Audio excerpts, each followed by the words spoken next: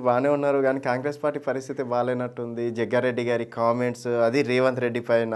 Jaggareddy versus Revanth Reddy అన్నట్టు ఇప్పుడు కాంగ్రెస్ పార్టీలో గందరగోళానికి దారి తీయడం.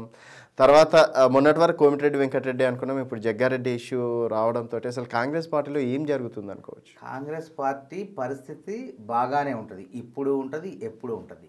కానీ కొద్దిమంది వ్యక్తులు మాత్రం అప్పుడప్పుడు బాగోకపోవటంగా ఆ విధంగా ప్రవర్తిస్తుంటారు అన్నమాట కాంగ్రెస్ పార్టీకి దీనివల్ల వచ్చినటువంటి నష్టం లేదు. చెరువు మీద కలిగితే ఏమవుతుంది మనదే ఎండుతుంది. కాబట్టి ఇవన్నీ ఏంటంటే ఈ కాంగ్రెస్ పార్టీలో సర్వసాధారణం మనందరికీ తెలిసిందే. కానీ ప్రతిపక్ష పార్టీ ప్రధానమైనటువంటి ప్రతిపక్ష పార్టీ అంటే ఈ బీజేపీకి టీఆర్ఎస్కి భయం. ఎప్పుడు ఏ అవకాశం కాంగ్రెస్ పార్టీకే ఉంది. రాష్ట్రంలో అధికారంలోకి వచ్చే అవకాశం.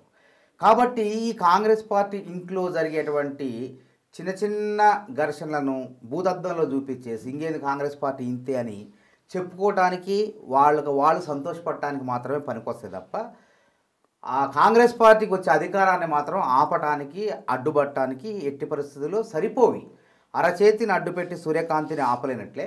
కాంగ్రెస్ పార్టీ ప్రజా ప్రబంధనాన్ని కూడా ఎవడు కూడా ఎన్ని కుట్రలు చేసినా ఆపలేరు. ఏ పార్టీలో చెప్పండి? బీజేపీలో లేవా? బండి సంజయ్కి తర్వాత కిషన్ రెడ్డికి ఏమాత్రం మిత్రత్వం ఉంటుందో అందరికీ తెలుసు. అదేవిధంగా టీఆర్ఎస్ పార్టీలో ఒక్కొక్క జిల్లా తీసుకుంటే జిల్లాలో ఉప్పు నిప్పు లెక్క నాయకుల మధ్య తగాదాలు. కాకపోతే ఏంటంటే మాకంటూ ఒక ప్రత్యేకమైన మీడియా లేదు. మీలాంటి సోషల్ మీడియానే హ్యాష్ ట్యాగ్ లాంటి వాళ్ళు కొన్ని కొన్ని అంటే మీరు అందరినీ చూపిస్తారు మీకేం పక్షపాతం లేదు. మీరు వాస్తవాలని వాస్తవాలుగా చెప్తారు కాబట్టి అట్లా మీలాంటి వాళ్ళ ద్వారా మీలాంటి సోషల్ మీడియా ద్వారా మా యొక్క గొంతుకలు వినిపిస్తున్నాయి. కాబట్టి వీళ్ళంతా ఏం చేస్తున్నారు? టీఆర్ఎస్ బీజేపీ వాళ్ళు దేశవ్యాప్తంగా కొన్ని శక్తుల్ని మీడియా శక్తుల్ని తమ చేతిలో పెట్టుకొని కాంగ్రెస్ పార్టీ ఎదుగుదలకు అడ్డుపడుతున్నామని చెప్పేసి తాత్కాలిక పైశాచికమైన ఆనందాన్ని పొందుతారు. కానీ చరిత్ర అనేది ఎప్పుడు కూడా పునరావృతమవుతుంది ఇప్పుడు రెండు స్థానాల నుంచి మూడు వందల స్థానాలకు వచ్చారు బీజేపీ వాళ్ళు. మేము నాలుగు వందలు నాలుగు వందల యాభై స్థానాల నుంచి క్రమక్రమంగా పడిపోయినాం. ఎందుకు పడిపోయినాం అంటే ప్రజలు ఏం చేస్తారంటే మార్పు కోరుతారు దేశంలో. అరే కాంగ్రెస్ వాళ్ళు ఇన్ని సంవత్సరాలు పరిపాలించారు కదా. ఈ నరేంద్ర మోడీ గారికి లేదా బీజేపీ పార్టీకి అవకాశం ఇద్దామని అవకాశం ఇస్తారు. మాకు పదేళ్ళు అవకాశం ఇచ్చారు.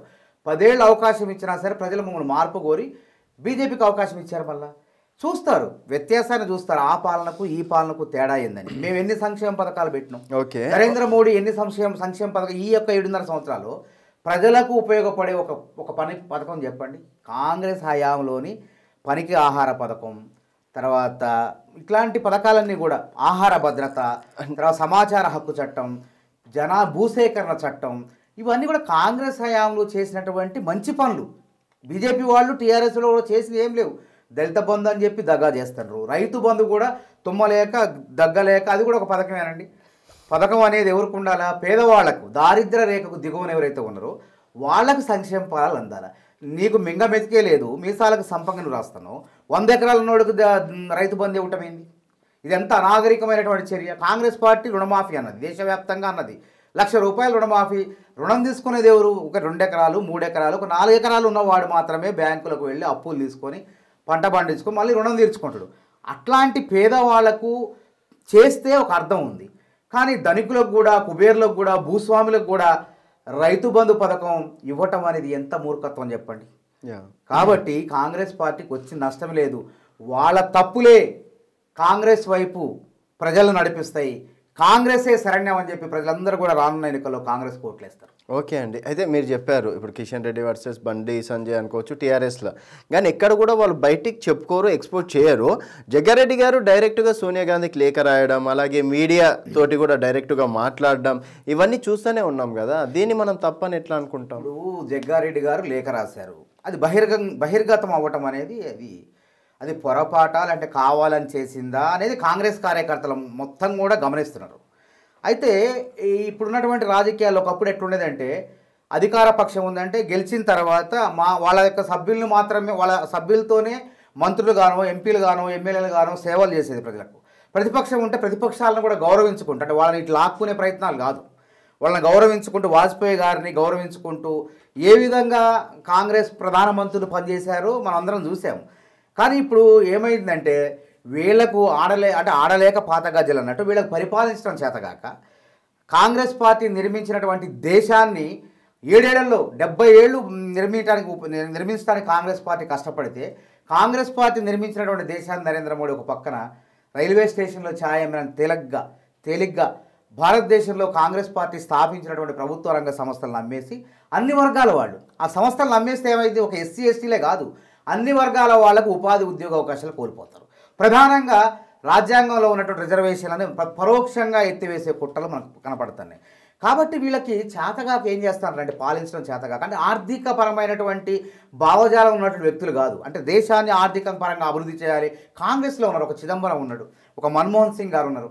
ఎవరిని తీసుకుని అనుభవజ్ఞులు కానీ బీజేపీలు అట్లా కాదు. భావోద్వేగాలు రెచ్చగొట్టి తాత్కాలికంగా లబ్ధి పొందేటువంటి వాళ్ళు ఉన్నారు. కాబట్టి వీళ్ళు ఏం చేస్తారంటే ఎట్లాగూ ప్రజలు యూపీఏకి పదేళ్ళు అవకాశం ఇచ్చారు. అంటే దేశవ్యాప్త రాజకీయాలు ఏం చేస్తారంటే ఇచ్చిన వాళ్ళకి పదేళ్ళు అవకాశం ఇస్తారు. వీళ్ళు ఇదే అధికారం శాశ్వతం మళ్ళా కాంగ్రెస్ వైపు ప్రజలు చూస్తున్నారు. మొన్న జరిగినటువంటి ఉత్తరాది ఎన్నికల్లో అంటే ఉప ఎన్నికల్లో దేశవ్యాప్తంగా జరిగిన ఉప ఎన్నికల్లో బీజేపీ పార్టీ ఘోరంగా ఓడిపోయింది. సిట్టింగ్ స్థానాలను కూడా కాంగ్రెస్ పార్టీ గెలుచుకుంది కాబట్టి హిమాచల్ ప్రదేశ్లో అయితే ఒక ఎంపీ స్థానం బీజేపీ సిట్టింగ్ ఎంపీ స్థానాన్ని కాంగ్రెస్ గెలుచుకుంది. మూడు ఎం ఎమ్మెల్యే స్థానాలను బీజేపీ ఎమ్మెల్యే స్థానాలను కాంగ్రెస్ కైవసం చేసుకుంది కాబట్టి నిన్నగాక మొన్న జరిగినటువంటి కర్ణాటకలో స్థానిక సంస్థల ఎన్నికల్లో కర్ణాటకలో కాంగ్రెస్ ప్రభుత్వం ఉంటే దొడ్డిదారులు కుట్రలు చేసి కాంగ్రెస్ ప్రభుత్వాన్ని కూల్చిండ్రు. ఉమ్మడి కొయిలేషన్ గవర్నమెంట్ను కూల్చివేసిండ్రు. కూల్చివేసిన తర్వాత కూడా ఏం ఏం ఏమో ఇలగబెట్టిండ్రు అక్కడ ఉన్నటువంటి బలమైనటువంటి డీకే శివకుమార్ శివకుమార్ గారిని జైల్లో పెట్టిండ్రు. అయినా ఇప్పుడు ఏమైంది? ప్రజలు అక్కడ కాంగ్రెస్ వైపున ఉన్నారు. గ్రామ స్థాయిలో స్థానిక సంస్థల ఎన్నికల్లో కాంగ్రెస్ని అత్యధిక స్థానాల్లో గెలిపించారు. స్థానిక సంస్థల బాధ్యతలు కాంగ్రెస్కి అప్పచెప్పారు. అంటే ఏంది? బీజేపీ ఓడిపోతుందని అర్థమేగా ఇట్లాంటి ఓడిపోయే పరిస్థితుల్లో రైతుల్ని ఏడాది కాలంగా ఇబ్బంది పెట్టి ఏడు వందల యాభై మందిని చంపి బీజేపీ వాళ్ళు. అంటే ఇంత నిజంగా సమస్య పరిష్కరించాలంటే ఏడాది ఆగాలండి. ఇదేదో అప్పుడే చెప్తే పోయేది కదా. అంటే చేతులు కాలేక ఆకులు పట్టుకున్నట్టు ఉప ఎన్నికల్లో ఓడిపోయిన తర్వాత జ్ఞానోదయం అయింది మోడీ గారికి. జ్ఞానోదయం అయిపోయి అది నేను ఉపసంహరించుకుంటున్నా అని చెప్పి దేశ ప్రజలకు క్షమాపణ చెప్పిండు ఇట్లాంటి పరిస్థితుల్లో ఏం చేయాలి? కాంగ్రెస్ పార్టీ అగ్రభాగ రైతుల పోరాటంలో సోనియా గాంధీ గారు రాహుల్ గాంధీ గారు ప్రియాంక గాంధీ గారు ముందున్నారు.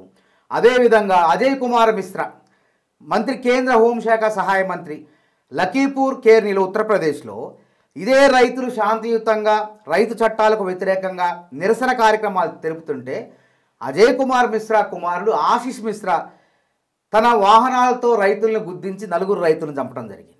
కనీసం నరేంద్ర మోడీ గారు చర్యలు తీసుకుండా? ఆ మంత్రిని మంత్రివర్గం నుంచి బర్తరఫ్ చేసిర్రా? ప్రతిపక్షాలు డిమాండ్ చేసింది అదే రైతులు కూడా కోరింది అదే. కాబట్టే నరేంద్ర మోడీ గారు నిన్న పంజాబ్లో తీవ్రమైనటువంటి అవమానానికి గురైన రైతులతో ప్రజలతో అసలు మీటింగ్ పెడితే ముఖ్యమంత్రి మాజీ ముఖ్యమంత్రి అమరేంద్ర సింగ్ మాట్లాడుతాడు సభలో ఏడు ఏడు వే డెబ్బై వేల కుర్చీలు వేస్తే ఏడు వందలు కనీసం ఏడు వేలు కూడా కాదు ఏడు వందల ఎనిమిది వందల మంది కుర్చీలు ఉన్నాయి సాక్ష్యాధారాలు వీడియో ఫుటేజ్లు నా- చెప్పట్లే. నాకు చిన్న సందేహం.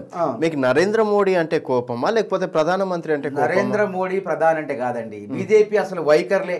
ప్రజాను ప్రజా వ్యతిరేక విధానాలు ఏ విధంగా అనుసరిస్తుందో అంశాలను వీళ్ళు కావాలని అమలు చేస్తారు కాబట్టి కోపం. సరే. నేనేమంటున్నా కాంగ్రెస్ పార్టీని ఈ విధంగా అంటే వీళ్ళకి చేతగాక కాంగ్రెస్ పార్టీలో చిన్న తప్పు జరిగినా భూతద్దంలో ప్రజలకు చూపించే ఓ వీళ్ళు ఇంతే వీళ్ళు ఇంతే కాబట్టి మేమే అని వీళ్ళకు వీళ్ళు తమ చేతిలో ఉన్న మీడియా ద్వారా ప్రచారం చేసుకుంటున్నారు తప్ప ఇది ఎల్లకాలం నడవదు. ఇంకొకటి వీళ్ళ చేతగాక వ్యూహకర్తలు. వ్యూహకర్తలు ఎవరండి అసలు? పార్టీ ఏ పార్టీకైనా కార్యకర్తలే వ్యూహకర్తలు.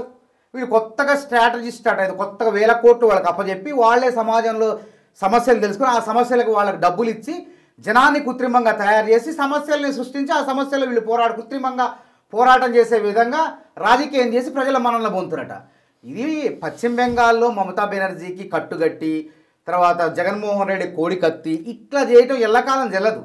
ఎల్లకాలం జల్లదు. ప్ర- ప్ర- ప్రభుత్వం మీద వ్యతిరేకతతోనే ప్రభుత్వాలు మారతాయి. ప్రజా వ్యతిరేకత ప్రభుత్వాల మీద యాంటీ ఇంక్యుమెన్స్ అంటాం కదా. అట్లా మారదు తప్ప ఎవడో స్ట్రాటజిస్ట్ వచ్చిండని వాడు చెప్పినట్టే చేయటం వల్ల కాదు. ఇది తెలవదు పాపం వీళ్ళకి.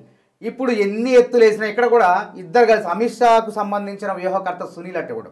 ఆ సునీలు ఇలా కేసీఆర్కి ప్రశాంత్ కిషోర్ సంబంధించిన సునీలు కేసీఆర్కి వ్యూహకర్తగా ఉండు. కో- వేలాది కోట్ల రూపాయలు ఇచ్చేసి ఆయన్ని ఇక్కడ చిచ్చుపెట్టు అక్కడ పొగబెట్టు ఇక్కడ పొగబెట్టు మేము పోయి ధర్నాలు చేస్తాం అన్నట్లు ఈ రెండు పార్టీలను నటింపజేస్తాడు కాంగ్రెస్ పార్టీ అనే అంశాన్ని తెర మీద కనపడకుండా వాళ్ళ కుట్ర.